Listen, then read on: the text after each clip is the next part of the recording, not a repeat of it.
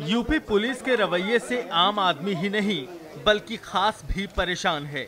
गुरुवार को नोएडा सेक्टर 18 में एक ट्रैफ़िक पुलिस कर्मी ने क्रिकेटर परमिंदर अवाना के साथ मारपीट की। परविंदर अवाना फ़ोन का बिल जमा कराने नोएडा सेक्टर 18 गए थे।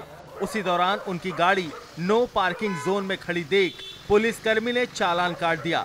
अवाना ने अपना परिचय दिया तो पुलिसकर्मी बदसलूकी और हाथापाई पर उतर आया। गाड़ी में बैठा था फ़ोन पे बात कर रहा था। जी।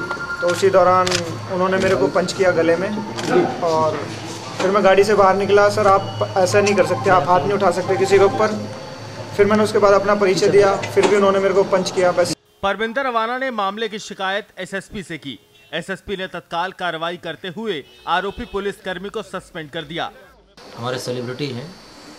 उनके साथ किसी head constable traffic head constable ने अभद्र व्यवहार किया, जिसके लिए कप्तान साहब ने उसको तत्काल प्रभाव से निलंबित कर दिया है और विभागीय कार्रवाई के आदेश दिए परविंदर अवाना नोएडा सेक्टर पाँच के हरौला गाँव में रहते हैं।